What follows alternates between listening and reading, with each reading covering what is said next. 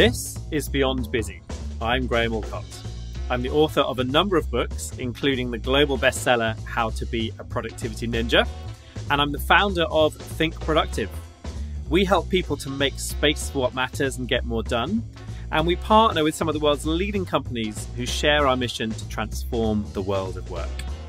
Beyond Busy is where I explore the often messy truths and contradictory relationships around topics like work life balance, happiness, and success, and explore with interesting people what makes them tick. In short, this is where we ask the bigger questions about work. My guest today is Sarah Ockwell Smith. Sarah is one of the world's leading parenting experts, having written 13 books and sold half a million copies. Her philosophy of gentle parenting is hugely influential in the motherhood WhatsApp groups of Great Britain, and her latest book, How to Be a Calm Parent, has as much to tell us about how to look after ourselves as it does how to look after our kids. In this episode, we talk about how to be calm, self kindness, the peaceful pentagon, and why being a busy parent isn't actually something to be proud of. This is Sarah Ockwell Smith. There we go. We're rolling. I'm with Sarah Ockwell Smith. How are you? Good, thank you. Thank you for having me. Yeah, it's um, really nice to talk to you. And um, I read on your biog that you've written 13 books about parenting. So I have. I suppose yeah. I'm just sort of coming up to the end of my sixth book right now, and um, I'm like I'm constantly telling myself it's my last one. Mm-hmm, so same here. Is that is that something you've told yourself every book for the last twelve books? So well, I mean, last year I wrote two, so I've got two out this year, like one next week and one in about four months' time, and I've I've made a vow to myself that I'm not writing another one this year. so I've, I've stick, I'm sticking to it so far. I just really would like a year off. Of I like writing, but I haven't actually had a year off writing since 2011. So wow, we'll see if so I stick to it. You've written a book a year since 2011. One or two a year since 2011. Wow. Yeah. and what's your secret to being able to produce at that volume? Because you know, I find it. I mean, juggling it. I have I have one kid and I co-parent, so you know, in many ways, I have half a kid. Um, and uh, yeah, and I just find the struggle of fitting that in alongside everything else uh, is really real. So, like, what's your secret to um, to to keeping on schedule? Um, I don't really have one. You know, I'm my kids are older, so they're between 14 and 20, so they're much more self sufficient at that age. So I, I mostly work when they're at school or college or something like that. Um, I just do less of other stuff. Like I don't, I rarely do housework and stuff like that. And, you know, there there is no secret, is there? If you work really hard at one thing, then you have to do less of something else. So for me, it's less housework. I've got like a, I'm literally sitting in my kitchen at the moment, and I can see I've got a mountain of washing on the floor that hasn't been done. So I was going to say less housework is either involves mess or a good cleaner. Yeah, but I, you know, I'm too. I mean, I don't know if we talk about it later. I'm such a perfectionist. I can't have a cleaner because right. Okay not in that I don't like the work that they do, but because I it's really insane. I don't know if anybody else is the same, but I have to clean before they come. So it actually makes me more stressed. I've tried, you know, I had one for about six months and it made me so stressed that on the morning the cleaner was due, I had to get up and clean everything so that she wouldn't see everything dirty. It's, I suppose it's good to have a deadline. So the thing for me is, um, when I go away for a weekend, because I live in Brighton and it's a nice place to be, I put my place on Airbnb. And one of the big benefits of it being on Airbnb is that it it's my deadline to sort of make the decisions about clutter and move stuff out. So it kind of really forces me to be more minimalist, knowing that I've got this deadline of it all having to be spick and span on um, yeah, gosh, days. no, I couldn't do that. um, so the book we're going to talk about is um, How to Be a Calm Parent, which I mean, I read the title and I thought, yes, please, that's definitely something that I need. Um, but like just before we get into the book, um, I mean, everybody's had a really difficult last couple of years, but at the start of the book, you tell your story of of the last couple of years, um, and it sounds like you've you know you've had a few more challenges than most over the last few years. Do you want to just talk us um, talk us through that? Yeah. So I mean, people have been asking me to write this book for a good decade now, and I would always say. I don't think I can write that. I don't think I can do it justice because I'm really not calm. Um, I have huge anger issues, and I just really felt that it would be really inauthentic for me to write it. And actually, to be honest, I didn't know what to put in it either. So, in all of my books, there's been like a little chapter that talks about being calm and self care. And actually, it's not what you do or say to your children, it's how you are that makes the difference. So, there's always been a little bit about it. And I've always known that I needed to get better at it.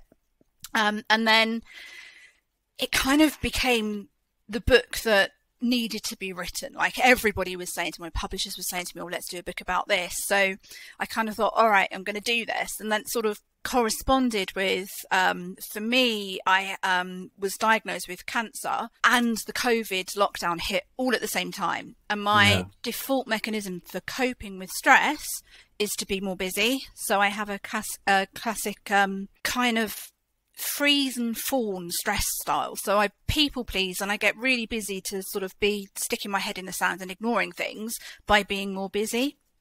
And I basically couldn't do that anymore. Um, I had to slow down because you know, I had to have surgery and stuff, but and then after that happened, I actually ended up working sort of the very next day because COVID hadn't quite hit then. You know, there were rumbles about it, but we weren't in lockdown. But then full lockdown happened, and I had to basically think, all right, I actually need some time to recover now, and I need to. For me, I felt like I had to recover I'm not really a very spiritual person, but spiritually is the best word to fit here, mm. like emotionally and spiritually as well as physically. And I was really forced to do that because everything was shut and I couldn't go and run off and run workshops and do talks and do whatever else I would have ordinarily done. So, in some ways, the book is sort of oddly autobiographical in that it's pretty much the journey that I went on to learn how to be calm and deal with my demons. And it, it kind of it grew from there. So it's like a really personal book for me. Um, in that I talk about all my flaws and the process that I went through, but it feels the most authentic and the most real for me because it's something that I really have experienced and I really do genuinely feel that I've changed as a result of it. How would you describe that uh, sort of period where the the kind of shock hit where you did have to stop and then you're just sat there with your own thoughts and you you no longer have that busyness that I think so many people are addicted to, aren't they? Um, how would you describe that sort of initial shock and, and what did you learn about yourself? Um, terrifying, to be honest. Um, one thing I think I have learned is one of my children has ADHD, and I'm almost certain that I have it as well. Um, I really sort of I struggle hugely with the sort of getting started with things and the procrastination side, but I really struggle with having nothing to do. And it was just not being anywhere, not talking to anybody. I just didn't know what to do with the time and I find I still do, well less so now, but I find it more stressful to relax and do nothing than I do to be really busy. I think of my whole life I've kind of thrived on living on cortisol and yeah, yeah, constantly keeping on going. But no, the the doing less was awful from a like from a movement perspective, being confined to the house, but from a the fact that I couldn't be busy and I couldn't escape what was happening in my mind as well. And so in terms of how that's changed your parenting so slowing down and um, you know and, and, really sort of taking that time have you noticed changes in terms of your own parenting and and what's been different so i think i took time to really understand myself and where i came from it sounds silly, but we spend sort of so much time growing up and moving on to the next thing and the next. We we don't really spend time retrospectively looking back at our past and thinking, was that healthy for me? You know, how did it affect me? We just keep on pushing forwards. So it gave me a long time to look backwards. Um, and what I really learned as well is that when I do less, I'm actually a much better person. Yeah. But I have this almost I don't know, self sabotaging mechanism that if I'm not busy, I feel that I need to do something. And I'm a chronic people pleaser, uh, which again, I know is very much linked to my upbringing. But if somebody is asking for help with something, I'm right in there volunteering, or I was. But I think the biggest thing that I learned from the whole slowing down thing was to say no a lot more to other people, to have those boundaries, to say, no, I'm really sorry, I can't help. And to not jump in and volunteer, and that that has made the hugest difference to my peace of mind, but to my parenting as well, because I'm not constantly busy and trying to do something else. I've got more time for my kids, but more importantly, more time for me to be re- more relaxed and calmer. And I don't get it right all the time.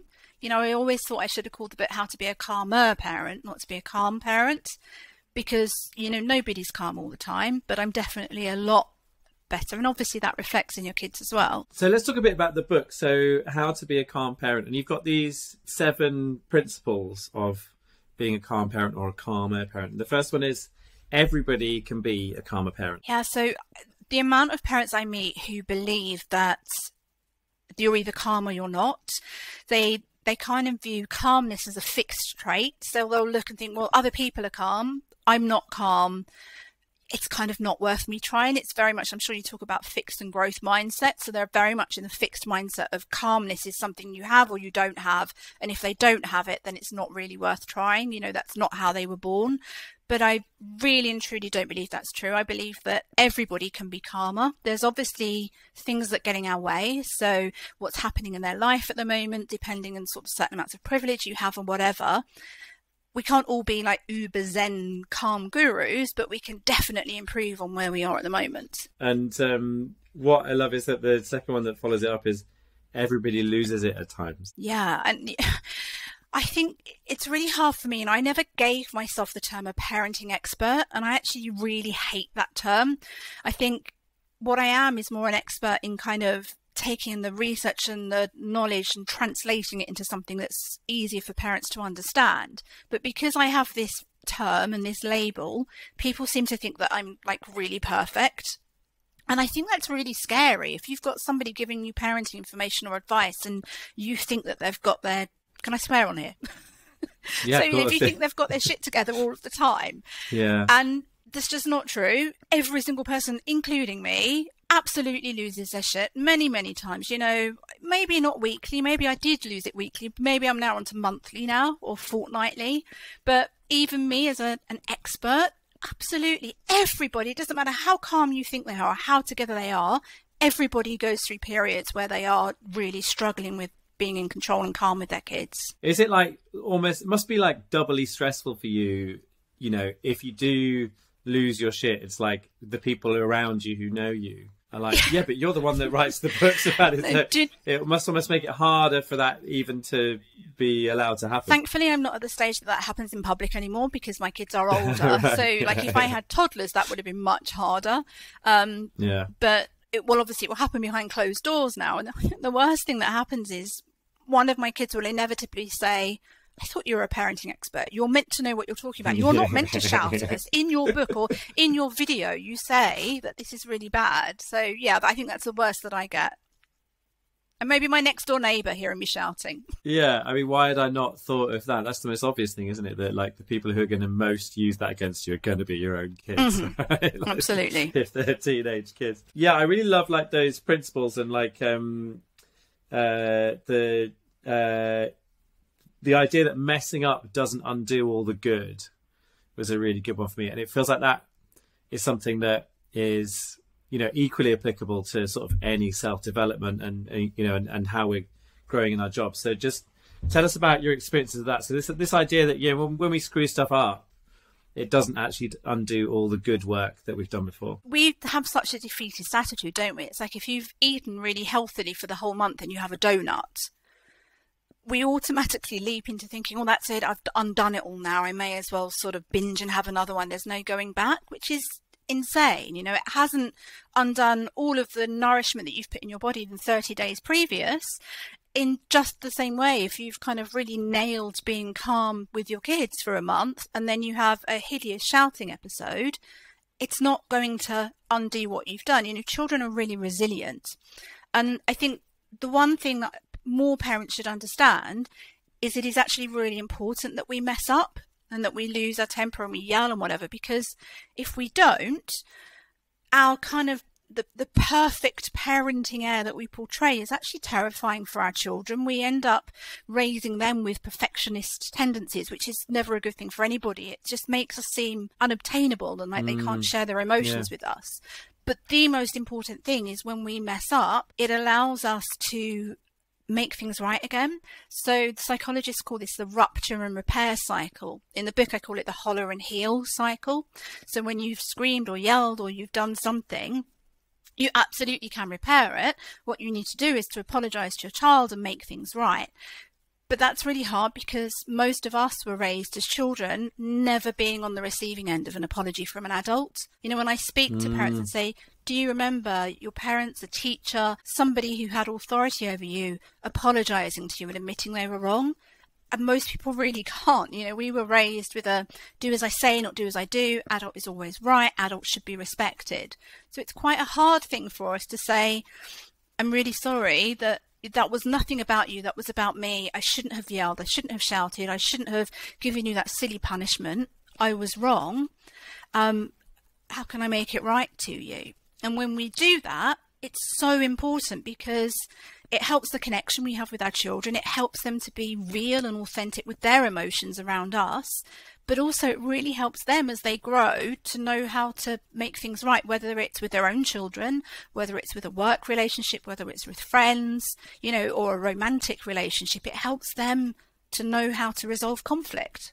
And so many children grow up not knowing how to. They just go and retreat into themselves and shut themselves away in a room and don't share how they're feeling. So we must look on the times that we screw up as actually maybe the most important times of parenting. And I suppose you know, the idea of apologizing and the word sorry is always vulnerable, isn't it? Yeah. Do you have any any thoughts for people on, you know, sort of how to how to lean into that vulnerability because it just it feels really uncomfortable. To be honest, all of this work is vulnerable because it all relates back to how we were raised and feelings that we've not dealt with and it's really difficult work and I think just acknowledging that is really important.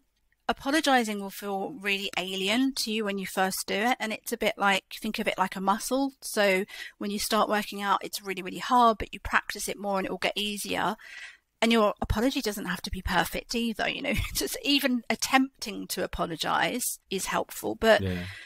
you have to kind of take the pressure off yourself and think you're learning, you're going to make mistakes when you apologize as well as apologizing for your mistakes, and that's okay. Just kind of, I think in general, everything that I talk about is just being kinder to yourselves, lowering the expectations of yourself, and understanding it's okay to mess up as long as you pick yourself up and keep trying. Yeah, absolutely. Um, so I'm writing a book on kindness at the moment, and so I was really interested to see your chapter on self kindness, um, which I agree with you is just hugely important. And you've got this concept of uh, the peaceful pentagon in there. Do you want to talk about the peaceful pentagon? Because I think sometimes people have a sense that they need more self care, which is like a really awful word, isn't it? Often it, it sort of it's so loaded, and you know people want to be kinder to themselves, but then often it's like, okay, where do I start? What do I do?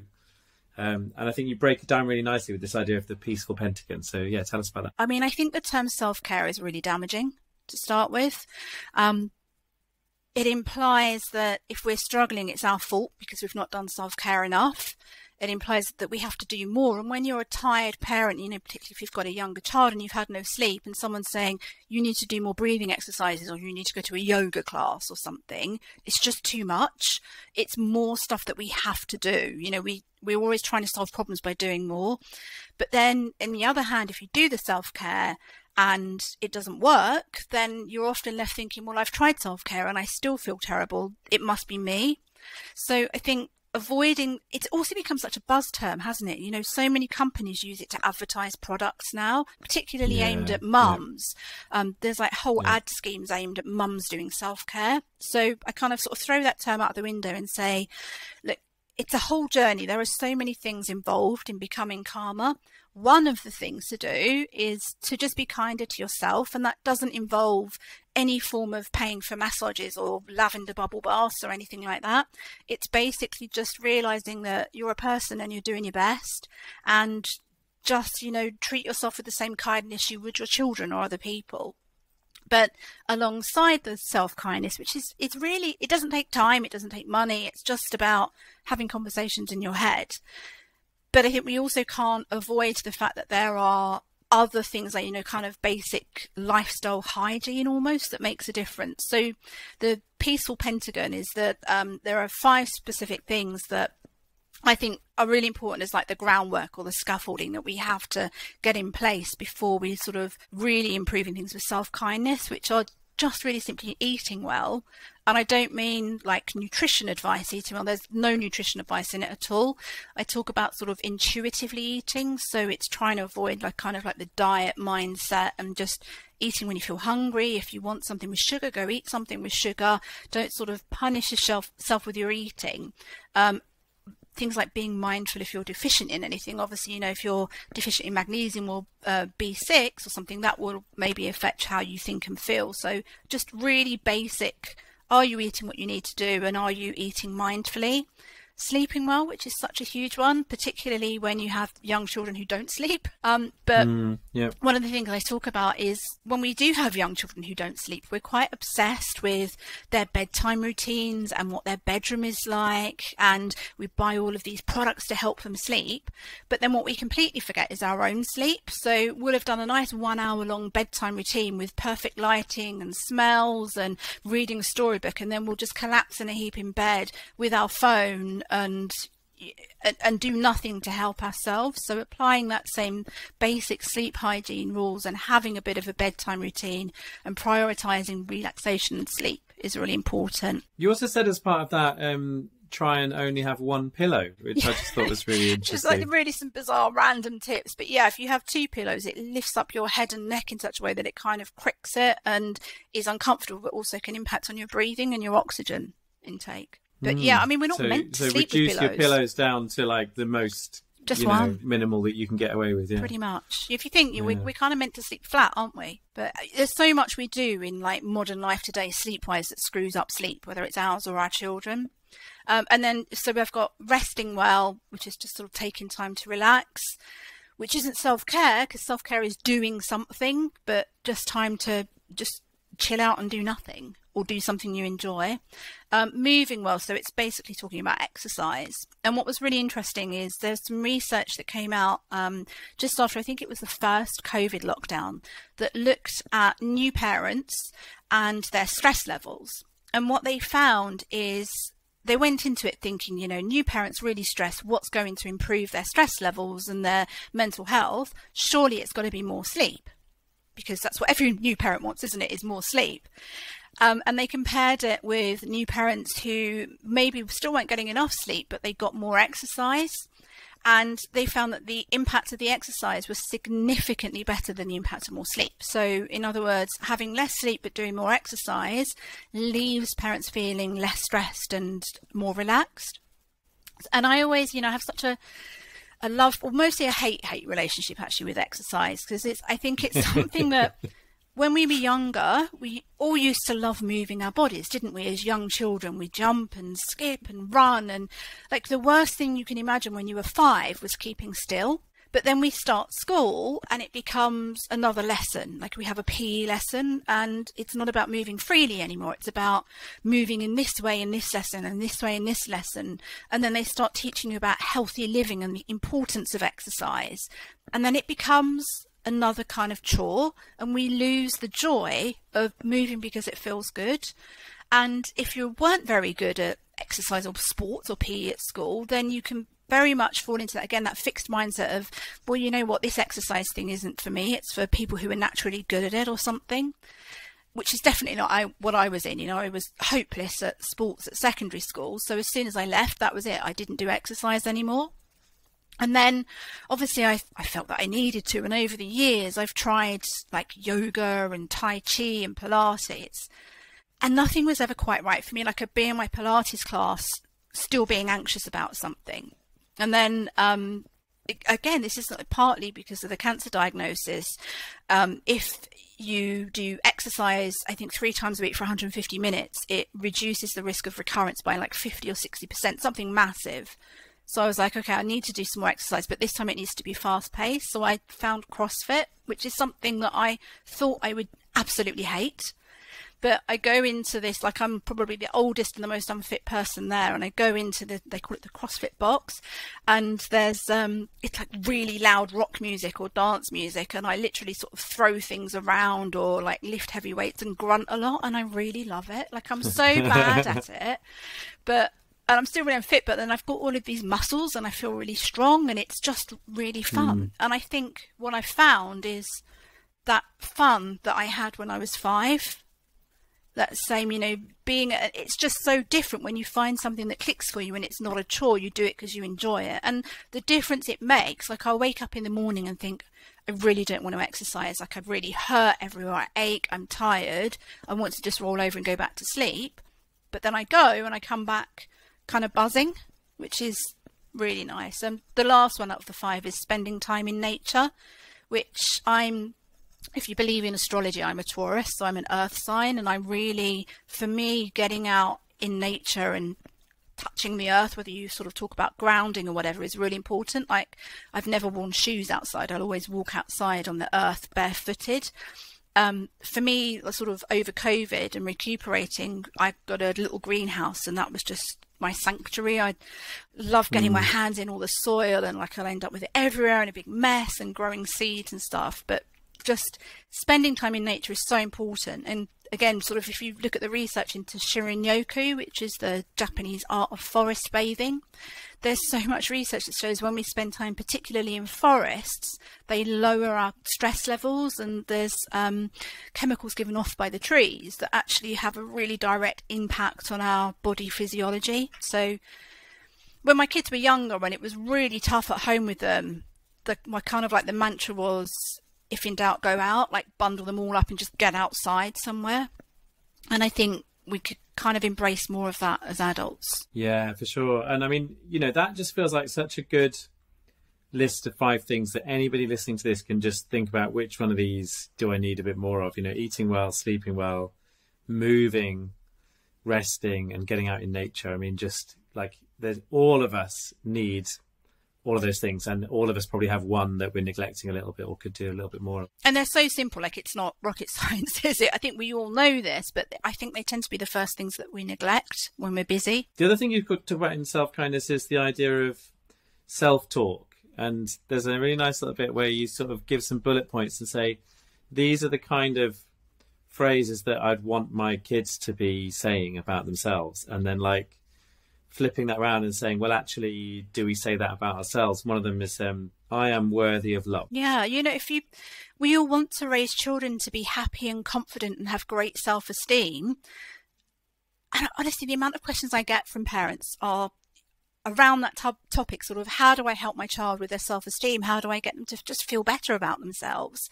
And again, it's not about there are so many things you can buy now, sort of like flashcards and colouring in books and storybooks for kids designed around improving their self esteem and their motivation and confidence. And I think we've got it completely wrong if we go down that route.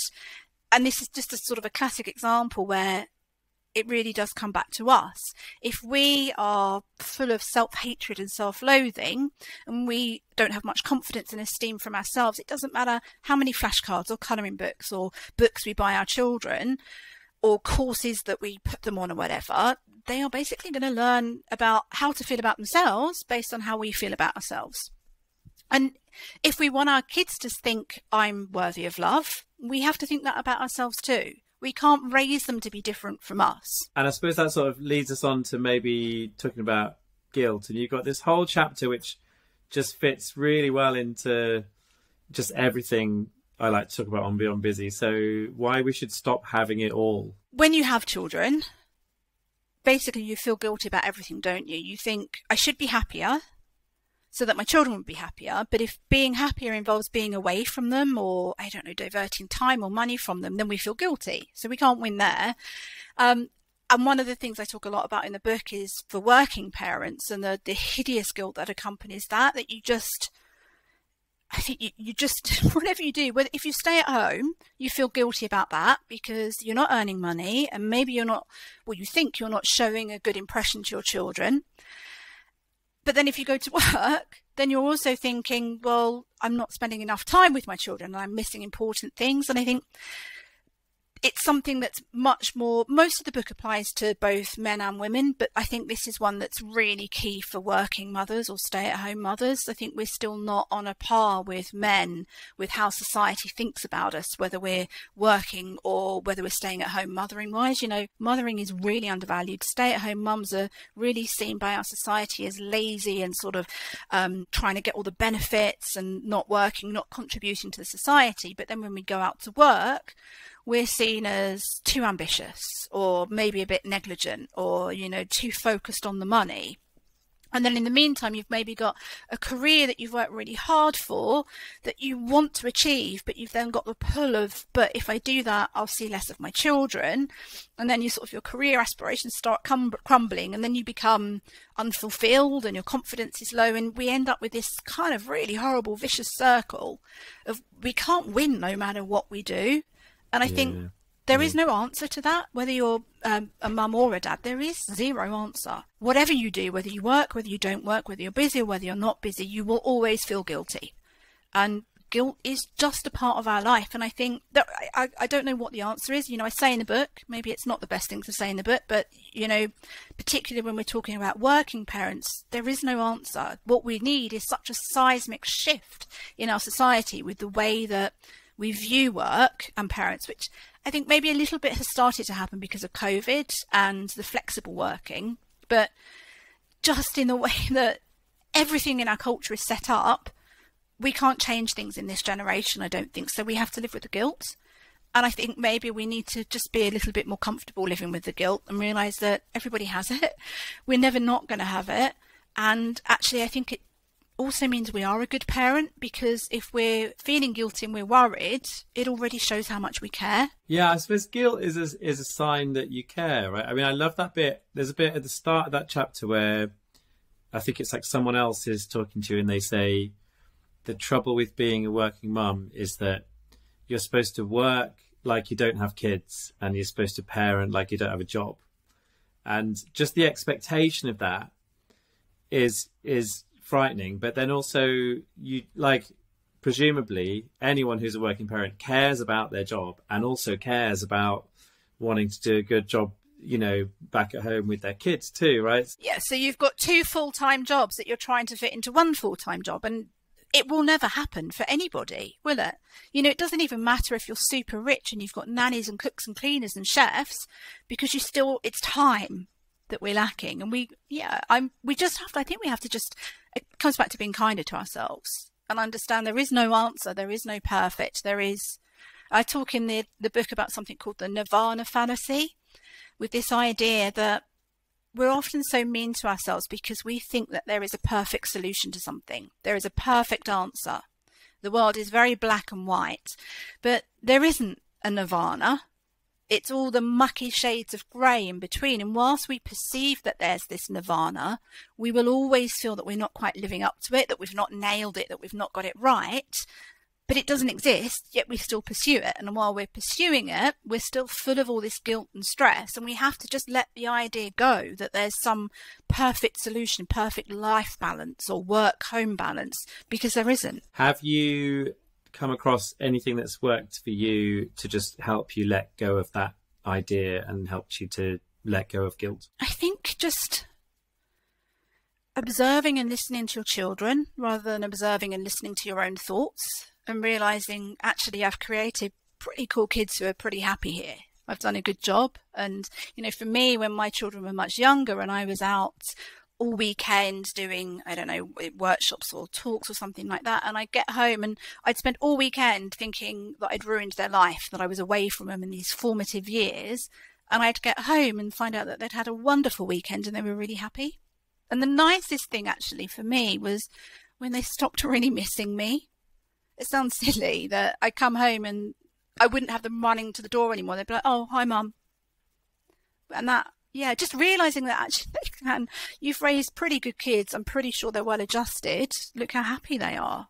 And step out of your own thoughts into reality. So mine's eight, so I'm nowhere near that uh, stage yet. But I can imagine the first time you realise that they don't miss you that much, it must be a bit of a wound to the ego. And then, like, yeah, so much. after a while, you can sort of rationalise it as, oh, this is a, this is a good thing.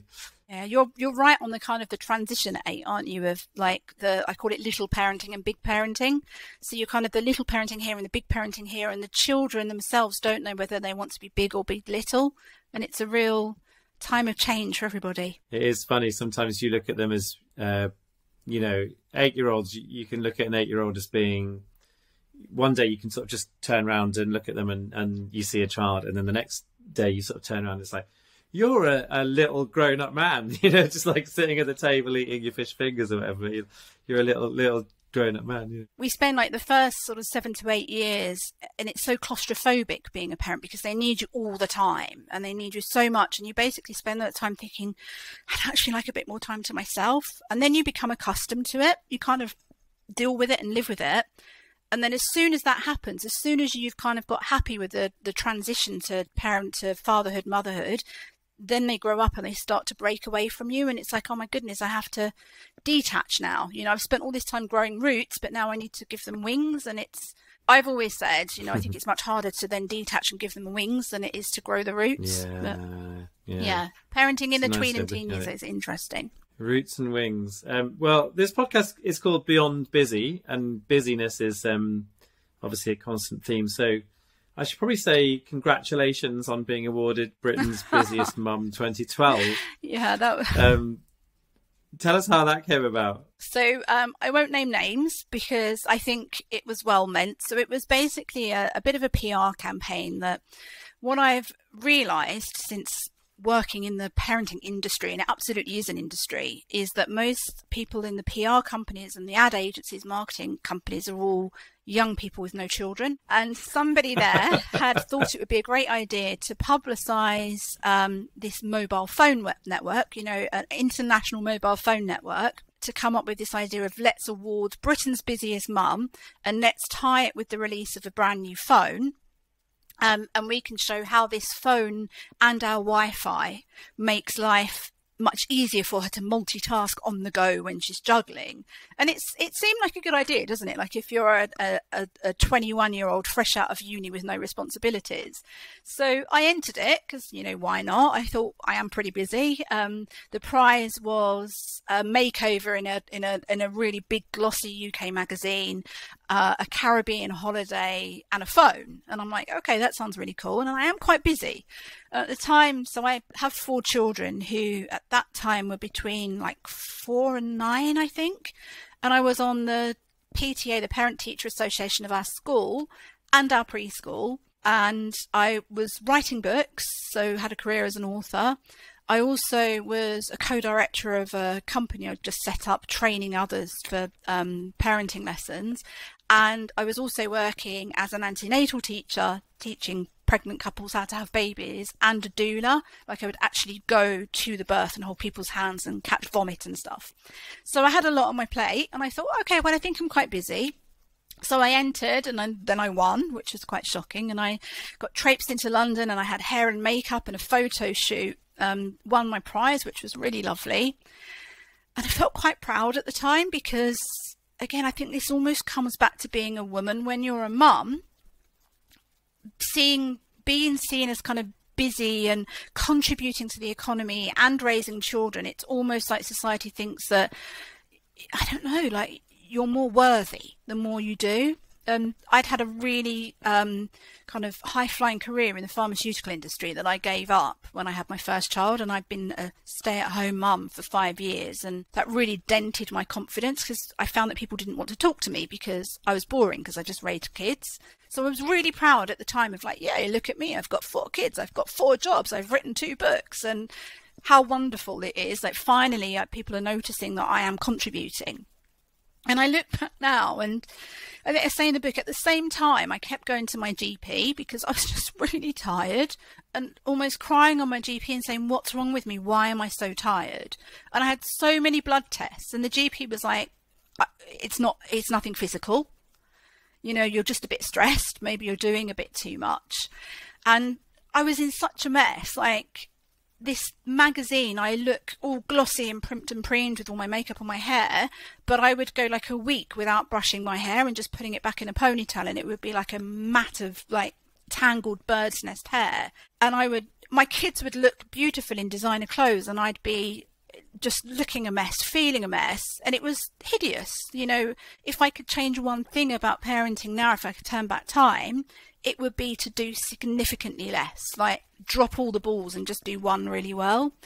But it was, I think now, such a damaging piece of PR and such a damaging contest that you know, let's find Britain's busiest mum. They may as well have just said, let's find Britain's most frazzled, most exhausted, most burnt out mum and reward her for pushing herself past the point of where nobody should ever be pushed. So, I mean, I think we still kind of talk about it. We don't do contests for it anymore, but we still reward busyness. And it's this idea that busyness is a badge of honor, right? And um, rather than seeing busyness as actually a very damaging uh, sort of symptom of how society is set up and the pressures that people face. And often a sign that people aren't coping, like I said with me, when I'm really stressed, I my default is to go to business, which comes back from when we were children and when we had big emotions and our parents or our teachers would distract us. That's essentially where it comes from. It's the distraction from feeling. So it's not healthy, is it? Whatever way you look at it. Distraction from feeling. I like that phrase. Um, there's a couple of things that you talk about in the book, um, in that chapter, in terms of how we can mitigate busyness or stop being so busy. Um, one of them, which I think is just it's just great business advice as well as um, good personal advice, is about saying no and trying to say no more often. So you mentioned there if you could turn back time, what you'd do is is try not to just juggle all the balls and just you know drop some of them and just do a few things well, and that involves a lot of saying no. So like, what are your what are your tips on how to say no gracefully? How to make it okay? Think realize that saying yes doesn't make people like you more was a really big thing for me. So again, comes back from childhood. You know, I was always this good girl. I was obedient because I was praised for being good and doing what people asked of me, and that kind of stuck with my psyche as I grew up. And my how I thought people liked me more if I was obedient and helped them and said yes. And I thought if I said no, that it would make them feel poorly of me. And I realized actually that really isn't true. Some of the people that I really admire say no lots and it doesn't change how people think about them. So it's a bit of a mind shift. And then yeah. what really helped me was having just a few stock phrases. So I would chronic people please, Or I would just, if somebody asked me to do something, however busy I was, I would just say yes because I was too embarrassed to say no. But having, it sounds so silly, but I literally had a note saved on my laptop with three different ways that I could say no that I would literally copy and paste into like an email something like, Thank you so much for thinking of me. I'm at capacity right now. So it's saying, and actually, you know, there's this whole idea, I don't know who said it, but there's a phrase that no is a complete sentence. We don't have to say, no, this is why. We can just say no. That doesn't feel right to me. I, I'm too polite. But adding something like, you know, I'd love to, it sounds great, I just can't right now.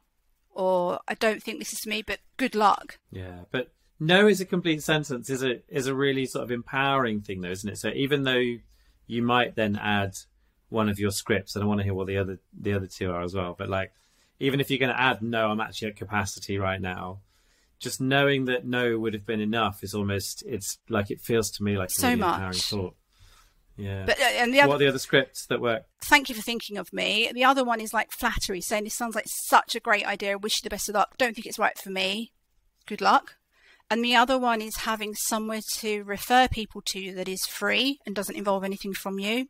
So if somebody emails me for advice, I would say, um, you know, I, unfortunately I can't help here, but here's an article on my website that might help, or here's a group that I find really helpful. You must get that loads, right? Like, so, because I suppose having written 13 books and you've written 13 books that are about parenting. And so often when people are reading your books, they're at a very transitional, very stressful, emotional time in their lives, and your voice is guiding them through. So you must get quite a lot of people sort of like reaching out to you and and sort of you know wanting advice, wanting help, um, all that sort of thing. Is that is that difficult to deal with? Is, is that overwhelming? So it's saying no, but having those boundaries put up in advance. So I would say I get maybe three or four emails every day asking for help. And I have put on my website on the contact page that they have to contact me through that I unfortunately I don't give free advice just because simply the, the sheer amount of them. Um, some people ignore that and I think try anyway. But then I do say on my website in advance, please note if you do email like this, you won't receive a reply. So right. I do just delete them. Um, on Instagram. I get probably 50 to 100 messages every day. That's just on Instagram. Wow. Um, I've turned my messaging off on my Facebook page because that would be the same. So I again set boundaries. I do every normally Monday or Tuesday. I'll go on my stories and take live questions for a couple of hours. So um, I, I, can't answer everybody even just to say no. I'd literally have to spend two hours every day just saying sorry I can't do this. So I do again. I have to delete them. Yeah. It's difficult because I work in a helping profession. You know, my whole work yeah. is helping people, and I I do really want to help people, but I just can't do it. And I also know that if I helped everybody, I'd have no time for myself, which means my children would suffer, and actually I wouldn't be able to write the books or help people because I'd just be constantly ill. Yeah, and also there'd be no books. yeah, I mean, man, I thought I got a lot of uh, emails from people asking for help sorting out their inboxes. But yeah, 100 messages a day, that's like, I'm starting to, yeah, I don't know what. I mean, what do you do with that? I just, I, I can't, sometimes I just literally just tick them all and bulk delete them because they make me stressed seeing them there. but I, I don't know. I think it's just the having the boundaries that, look, I'd love to help people. I just can't. Here is this opportunity that I do every week. And, and when I do my live questions and answers, I get, probably get through about 20 or 30 questions and I reckon I get two to 300 submitted. So again, there's a lot that I ignore, but I just, I can't do more. But that's a good way of doing it, like batching up those questions and then, you know, you just hop on and be there live and, and be part of that.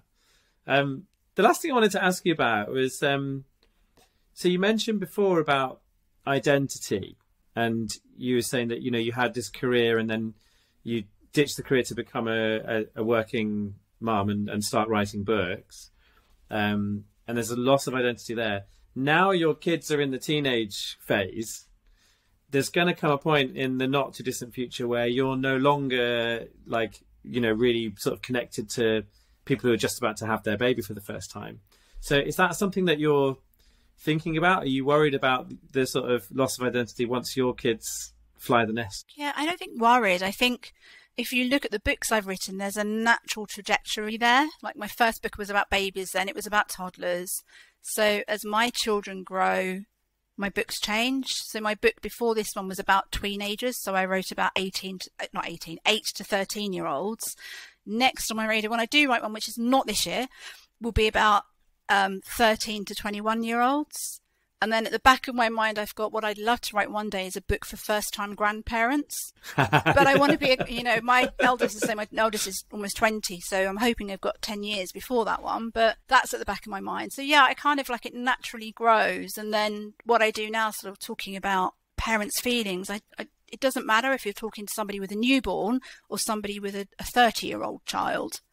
I think it applies to everyone. But yeah, no, I think it just naturally evolves, doesn't it? And you don't realize you've evolved until you look back and think, ah, oh, have actually really changed. Yeah, I interviewed a while ago. I interviewed Katie Thistleton, who's a DJ on Radio One, but she started life as a, a kids' TV presenter on the Broom Cupboard on BBC, and then she went to Radio One, and now she's doing sort of like like study skills and documentaries and stuff. And so she's sort of in the same in the same way that you you know presumably you've got people who read your first like book about babies and then they've kind of followed yeah, through the books through me. the years. Yeah, and so Katie's had that as well, where you know she had these eight-year-old kids that have then become ten and fifteen, and you know, and, and now they're sort of eighteen or whatever, and you can see her sort of transitioning with that same audience into sort of like adult documentaries and you know, sort of more sort of high highbrow content. It's lovely. I think people think that I've had a career plan, and I really haven't. Like my whole career has been an accident or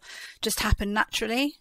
But it is it is really lovely to grow up with the people, and even back to sort of in the early two thousands when I was teaching parents antenatal classes and being with their babies, and those babies are now at university. Is yeah, it's it's actually really nice. I think to move with your audience. Yeah, absolutely. Um, and then I suppose uh, I suppose my final question is like just thinking about productivity within all of that. So it seems like you don't have a seems like you're good at saying no and you're pretty prolific.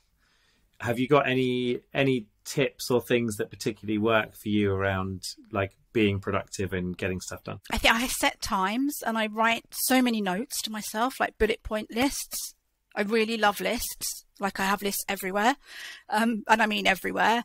Sticking to a list and ticking it off. And then I just really like the thrill of like deleting it when it's done. That really helps me. But also I I didn't, you know, I've been self employed for 20 years now and I would work at every hour if there was work because, yeah, right. you know, you're scared of turning work away, aren't you? But now I really very much will only work mostly between like 9 a.m. and 3 p.m.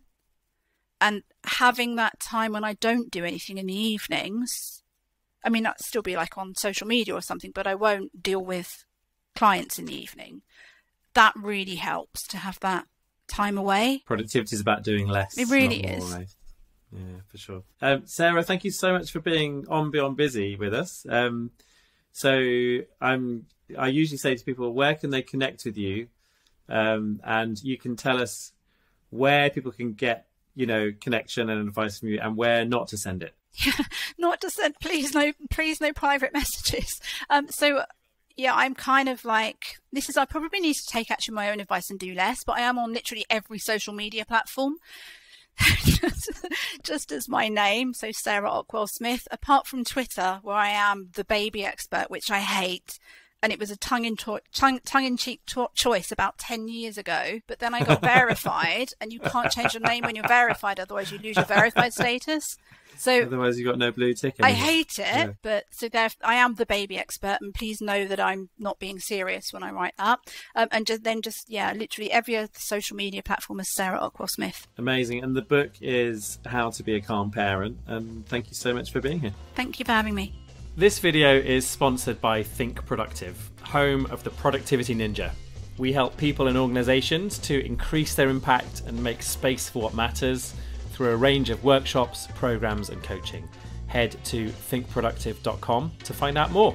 Are you interested in booking me as a speaker for your event? You want to sign up for my Rev Up for the Week email? Do you want to buy some of my books? Or do you just want to find out what I'm doing right now? It's all at grahamallcott.com forward slash links. And if you like this video, please like, subscribe, and share so we can make more. Thanks for watching.